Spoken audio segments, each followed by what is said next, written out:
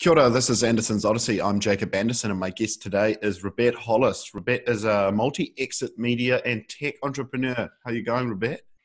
Good, brother. How's things? Good, good.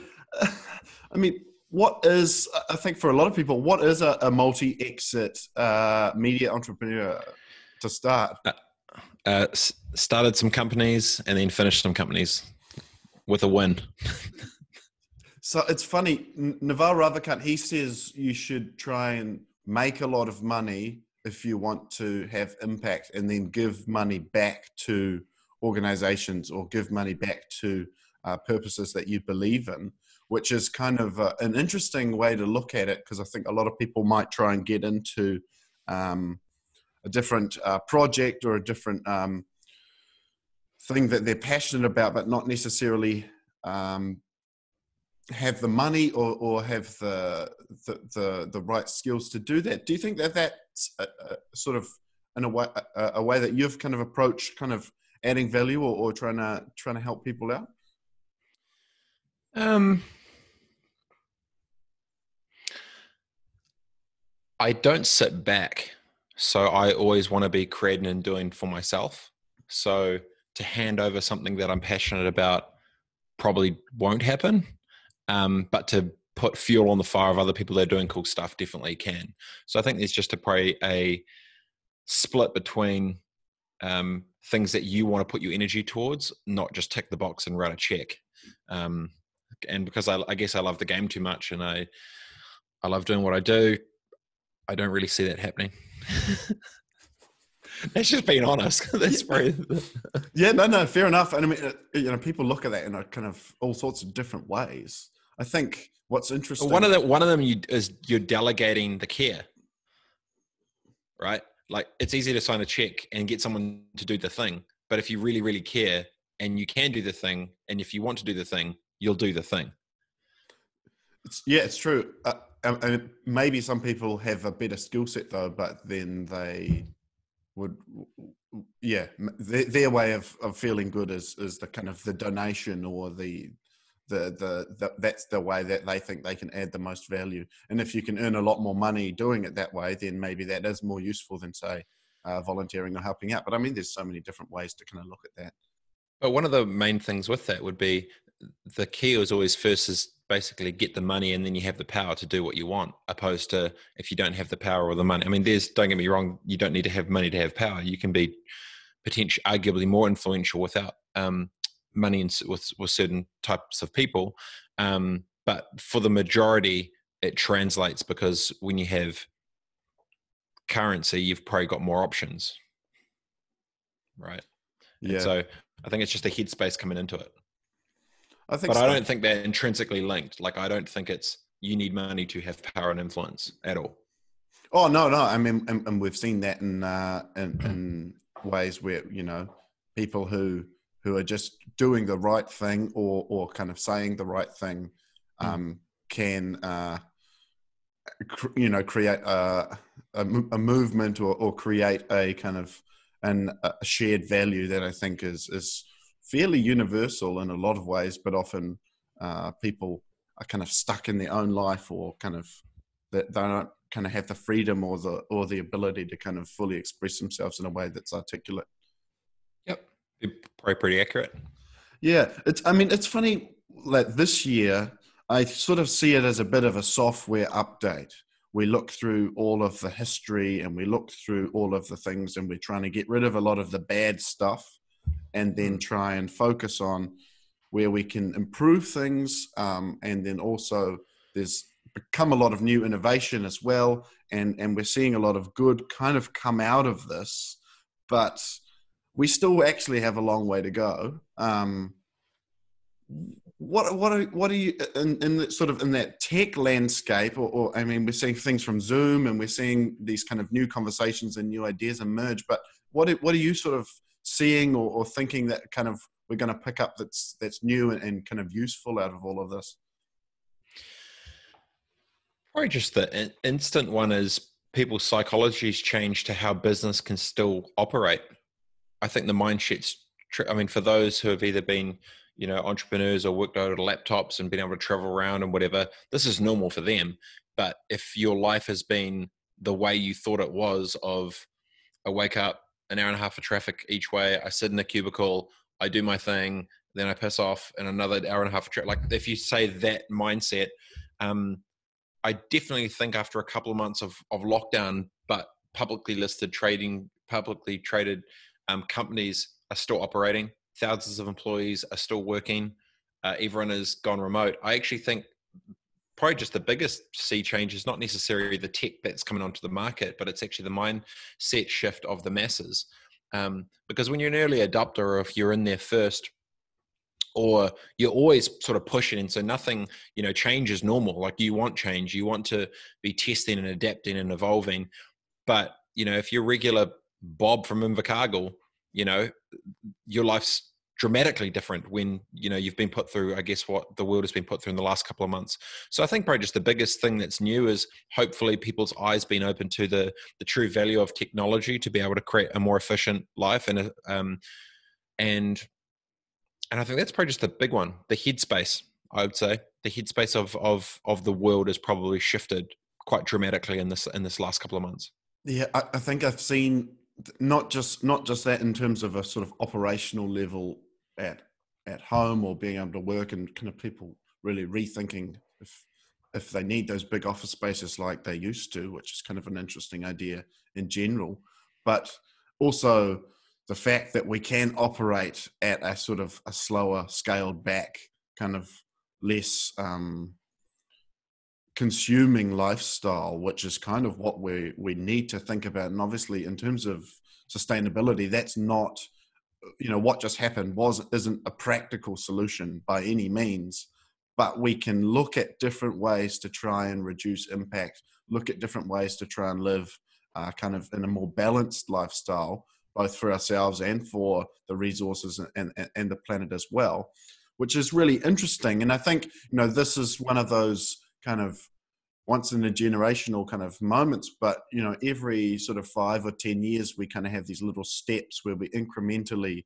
kind of level up, I guess. And I think this, this year in particular is a huge one for leveling up in so many different ways but we still have got a long way to go. What's been interesting about the whole kind of the Black Lives Matter movement for me is kind of you hear these stories. You know, everyone knows about slavery in uh, in America, um, but we haven't really talked about the fact that, uh, that we are still see- seeing slavery occurring in, um, in, in Arab countries, which is kind of hasn't been talked about at all. Which I kind I, I find kind of interesting how um, we've we've selectively, well, and I think it's probably not not deliberate, and I don't think anyone's kind of doing that on purpose. It's just because of the access to information. But what's what's the kind of the the mood like at the moment in America? Have things started to settle down, or is there still kind of a lot of tension there?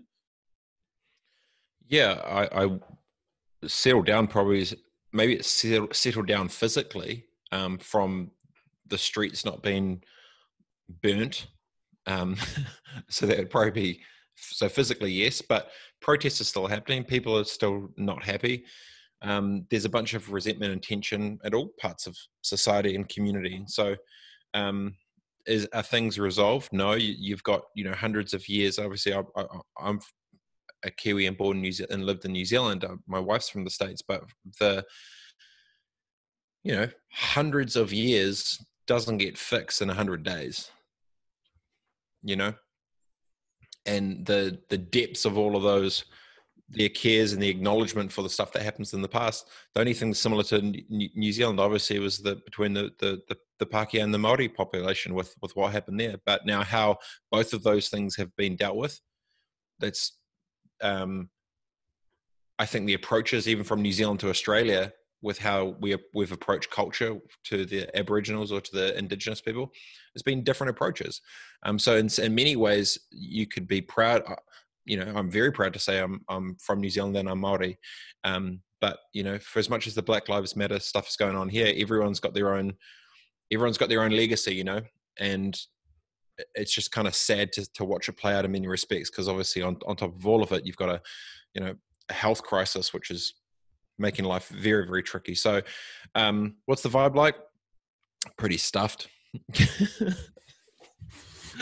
it, it's it seems like it's a kind of everything's compounded, right? Uh, it would be it's kind of difficult to know if it would have played out in a similar way had everyone not been already under pressure from the pandemic and then kind of you know obviously with Trump and everything else that's going on there's kind of all of these things kind of fueling everybody up and it seems now you know you watch TV and the media is sensationalizing everything, which I think kind of ramps everything up. And then people are on their phones all day, and then that kind of ramps everything up.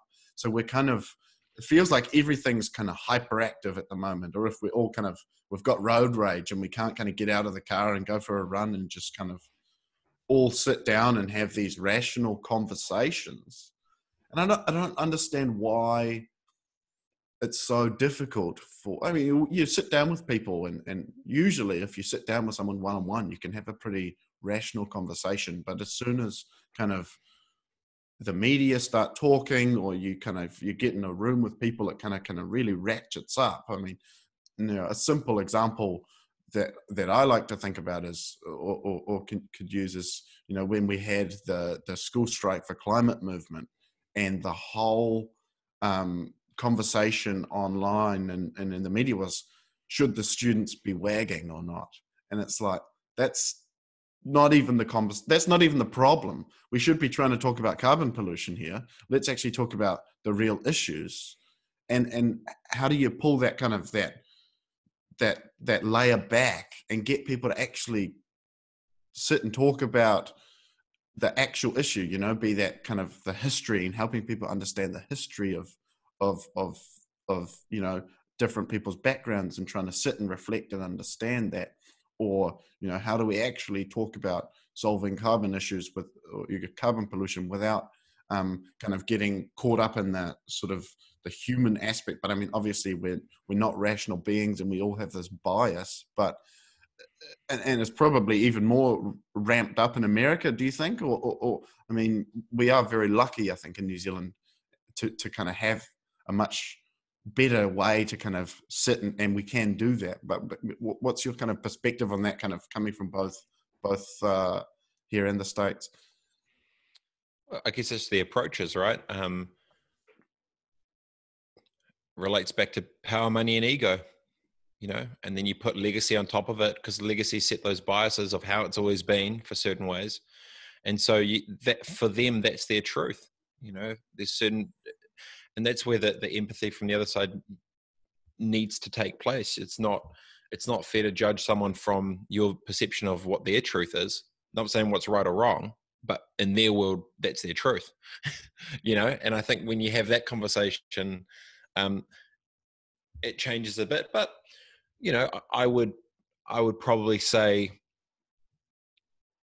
kiwis feel like we've addressed a lot of our bad past reasonably well, but there's clearly a lot, lot more to go. Um, case in point, you know, they're talking about taking down different statues and stuff now, blah, blah, blah, blah, blah. It's like, well, before George Floyd, would they've tried to take those statues down? What what happened? What was the moment? And so it just sort of triggered something. You know, you ask another question, it would be not so much is it right or wrong for for this statue. It'd be like, well, if it was a black cop that killed a black person, would the world have blown up the way it did in America? Probably not. You know, it's because as soon as it was color, then it was race, then it was div- divisive, then it was legacy, then it was power, then it was authority, then it was politics, then it was community. You know, like, and so you can see how one seemingly small thing um, can extrapolate out because of the narrative of, of what those things represent. And so sometimes I don't, sometimes it's not necessarily the thing, sometimes it can be what it represents. Um, and then when you put that tension you know cranked up over generations um, you can see how people have got to a point 100% 100% not saying it's right or wrong i mean definitely you know pieces of shit breaking in and stealing flipping yeezys to try and sell on the streets for 500 bucks probably not the that's probably not in the in the spirit of things but um the intention of what people are trying to to rectify i think is um it's pretty admirable in some respects, but just it's clearly not done safely. So, so you can't have mixed feelings about that as well. But yeah, I think the the approach to how all of the other different countries in the world has been quite interesting, not only with the health crisis, but also with how they, I guess, try to, you know, reset the landscape of of where they've come from and where they're going. All, all of the, it seems that all of the kind of steps where people are trying to make progress, there's always a sort of small minority that speak incredibly loud and appear to be much bigger than they are. You know, I'm sure that with all of this, most people are kind of aware and conscious and wanting to, you know, to do the right thing in a peaceful way. But then there's a small group that kind of uh, cause all the chaos, and and that's where the media focuses, and so they appear much bigger than they really are. But because they have a loud voice, that's what happens. But I think, you know, maybe um, we can have this kind of fragility and it's possible that you know more people kind of go in that direction.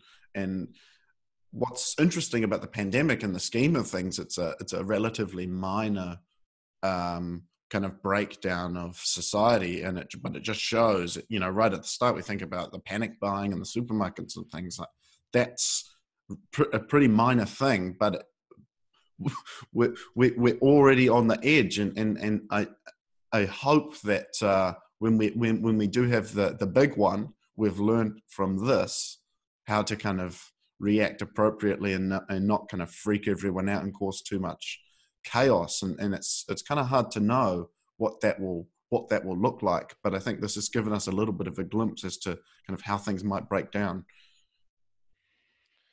Uh, I mean, if you look at the reactions from everyone, they haven't been minor; it's been extreme.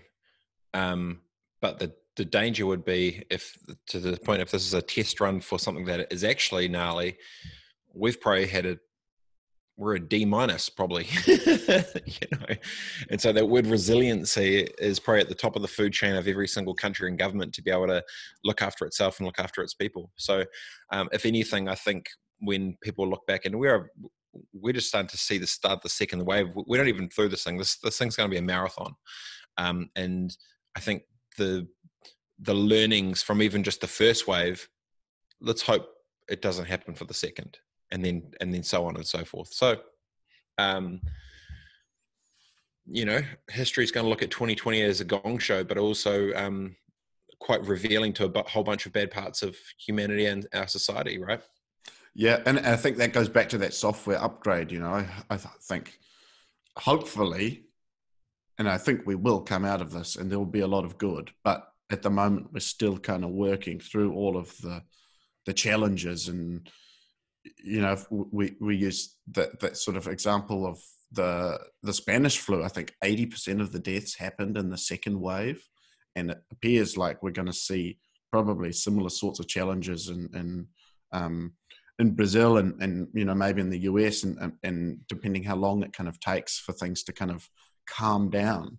Um, so yeah, it's it's it's sort of seems kind of crazy, but what what what do you think are some of the things that we can do or use to kind of teach and empower others to kind of reflect and, and be more kind of aware of, of these sorts of things?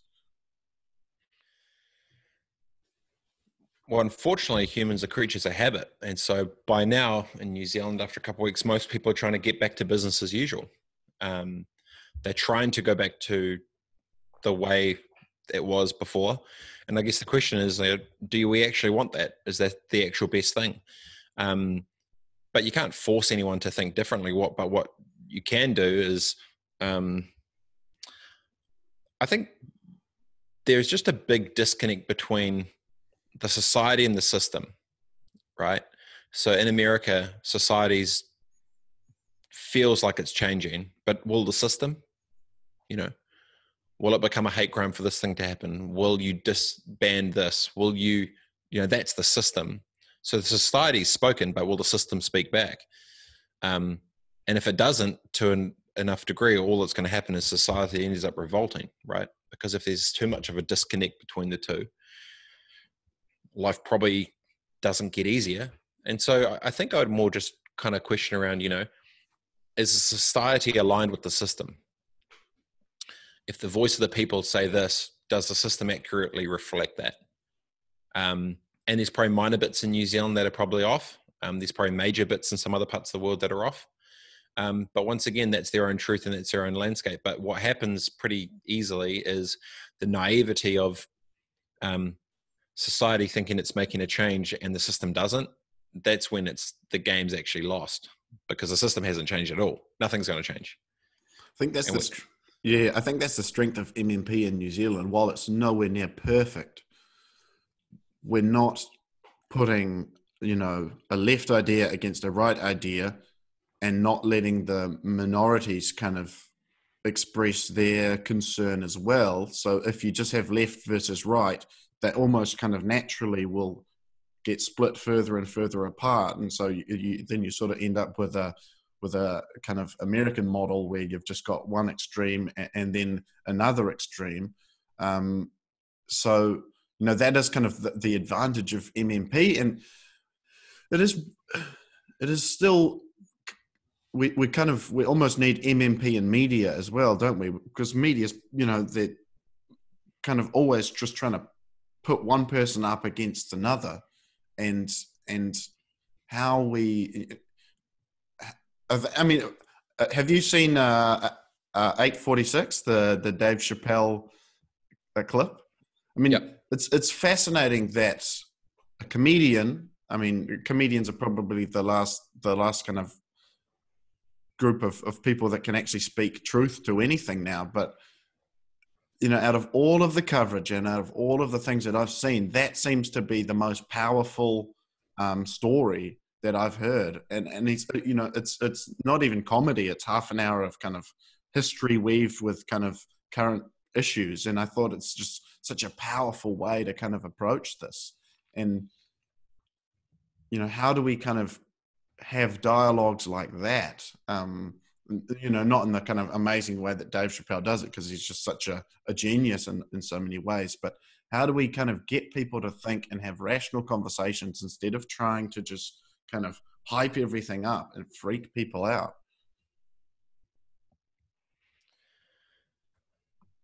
Well, if you don't control the media, you don't control that conversation if they control the, the message, they control the eyeballs and the thoughts, hearts and minds, you know? So what I do realize is that the, I've never, the power of media is up there as much as the power of politics. Um, because when you shape shape the opinions and you shape the thought and you control the narrative, you can control the people. You control the people, you control the politics, you control the politics, you control the power you know it's influence um, and you know obviously i don't know the space well at all. I don't know politics well i don't know governments well i don't know a whole bunch of other stuff well but what i, I mean i do understand media but i never really understood the true power of media and and how um, simple tweets can kill people. How you know simple tweets can create fear that causes panic buying and hysteria for no reason through communities. The fear of missing out for others creates more fear. You know that whole thing that's that's media um, now i would love to one day you know talk to a psychologist around the the manipulation of, of content and energy just to see like how like talk me through the case studies of how all this stuff happened. I think just even watching the case studies that harvard or whoever do to the the human dynamics of of what's physically happened in in around the world it's going to be insanely mind blowing to timestamp how movements have actually happened from media. I would love to see stuff like that. We see so much of this kind of power through the social media and Twitter, especially, but there's there's got to be a lot of people who know how to use that in a in a useful way to drive positive change as well. But it feels like there's just always this kind of constant stream of negative coming from all of this. Then, you know, do you have examples of that, or do, or do, you, do you think that we can we can find a way to try and rationally navigate that space instead of having this kind of online war mob mentality? No, because it's cool to join the mob, right? That's the whole point. Those that Just are trying to dunk on stuff, everyone, yeah, yeah, like those that are you know trying to cool stuff. Um, a lot of the time, when those say within charities, they're so focused within the charity and within their thing, they're not focused of the external amplification of it. They're focused on doing the doing. A lot of times, when it's exploitive, other people will you know prey on different bits and pieces. So sometimes they get louder. And unfortunately, if the most exploitive are the loudest, that's when you've probably got an issue with society. Your your book Power Moves. Um, you what you're trying to do with that is is kind of, or you have, you have this goal of destroying this kind of tall poppy syndrome. Uh, what, what, what and and you're, you're making the book available to eight hundred thousand young Kiwis, which is which is awesome. What what what are you trying to kind of? What is the sort of the big message or the goal around around that? Pretty pretty simple, really. I think New Zealand has a pretty big um, success has an awareness problem. You know, knowing it's okay to be good at something has isn't embraced.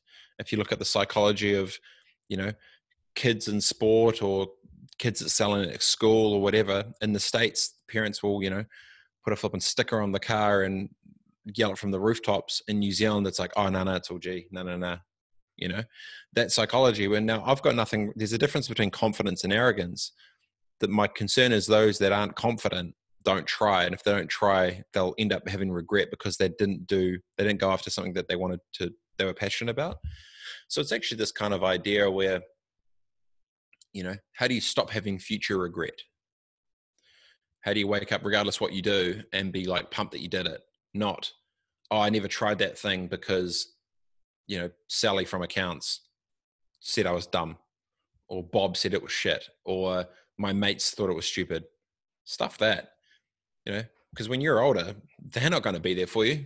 They're not the ones that are doing stuff. So if you look at just and I, I, I feel it's changing just a little bit and we want to support the underdog and we want to you know back it more. But i think it's probably once again it's the mindset shift of why can't we? Why don't we? You know? That that that thing and the reality is you know tall poppy syndrome and all that stuff that was there long before I, i've been here. It's just that i know that that deep little underbelly that that that whittles away under the surface all around new zealand is stopping a lot of people's future dreams from happening the majority of the time that they do that is because they've got their own insecurities about not going after what they want. So they want to hold everyone back down, crabs in the barrel shit. That's all it is, you know? And so um, I will have this thing where I keep saying, you know, New Zealand wins when New Zealanders win. So don't we want this country to win? so if this country needs to win, people need to do cool shit. So why don't you support the people? But they usually don't. What's what's fascinating is we're we, we're quietly we're so proud you know behind the scenes everyone's patting themselves on the back you know we're the best country this is amazing um, but that, that you know but you can't kind of express that in this it's it's a it's a weird kind of cultural thing that we've grown up doing and, and then we're also you know unfortunately i think we're still kind of in this mentality that we can only be a primary producer and do tourism. We we have we're starting to break out of that kind of thinking, but we're still so fixed on growing things, you know, having animals on on on farms and and doing tourism. And obviously, this pandemic's making us take a a good look at at tourism. Um, we're still growing things. You know, we can still feed about 50 million people, which is which is incredibly useful but how do we start thinking about other things how do we think about the technologies how do we think about we're the perfect place to do it you know i think we could become especially in the next year or two we could look to try and be the you know the, the hollywood of of the south pacific because they're the only place in the world that can fully operate you know we can, we can start to look at those things we can we can if you make software you can sell it anywhere. You don't have to be in a factory doing it. Why um, i mean i think the remoteness is is part of why we've kind of kept some of that, that thinking, but how we bring in that new talent, bring in those new ideas, I think that's that's going to help for the next generation. And when you did that tour uh, you know what were the what were the sorts of things that you were noticing that that young people were after or what what are the sort of conversations that you're hearing the um the interesting bit that i thought was if you take the same 15 year old kid um but you went to different parts of new zealand you'd have the same kid in the same world with different problems based on the geogra- geography of where they lived. You know, so up far north, uh, there was more P. Coming into Auckland, some more gangs. Came down to the kind of the, the west coast uh, a bit, and then there was suicides. Came down south, domestic abuse. Right, and so the same kid, same world, different location, different problem. Um, and it was it made me just think like you know that environment that that kid grows up in is going to give them a different challenge. Is it P or suicide? Is it gangs or your parents beating you up? And the domestic violence thing going down south was really interesting because there weren't obviously gangs. P wasn't sort of big, but then you think about that vibe of you know we live in such a you know great amazing places this is perfect but if the parents aren't happy where do they bring that stress back into the home you know and so the kind of the the meta thinking of well why what why why why you kind of go go down that rabbit hole a little bit and you can sort of see. So um, i was i was really naive to that fact. Um, and also what i thought was quite interesting is everyone you know wants to be inspired but everyone has access to inspiration. If you've got YouTube, you can just go onto YouTube and type an inspiration video and watch something. But that's not true inspiration for them because I think they need to see it, feel it, touch it. They need to make it tangible. And so I think from what I felt anyway was just bringing in a little bit of that tangibility to real world inspiration made more a 10 times difference than a YouTube clip where they're not there, they're not present, they can't see them, they can't touch them, they can't feel them, they can't engage with them, they can't, you know and so so it made me realize that um, there are a lot of for as perfect as New Zealanders, there are a shit ton of issues, and simultaneously the the that cons that that deep desire for genuine human connection, I don't think is going to go anywhere. Ever. I think yeah, I, I think you know, and there's no shortage of inspiration. You can almost teach yourself anything if you have the the drive to do it now, which is mm-hmm. amazing what the internet's provided us. But if you're a young kid and you don't see somebody who